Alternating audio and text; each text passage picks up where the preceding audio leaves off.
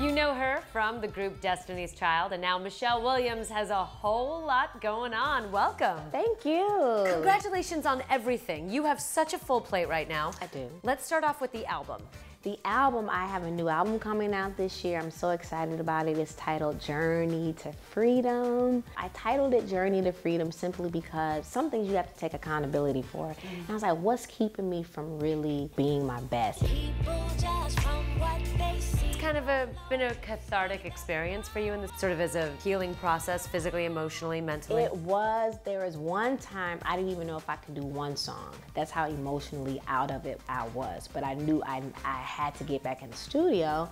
And I was like, well, most people who are down in the dumps, I thought that they write amazing songs from it. And something changed. You get around the right people, they encourage you, and things just started flowing. You have a women's health initiative as well. It's actually an amazing social media campaign with Playtex Gentle Glide. The campaign is called Play On.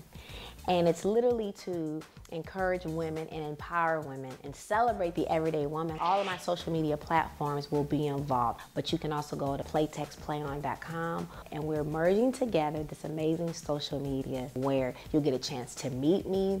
And then I want to hear from you how did you overcome your obstacles? Mm. Because maybe I can learn from you too. Congratulations on all of the wonderful things going Thank on. Thank you so much.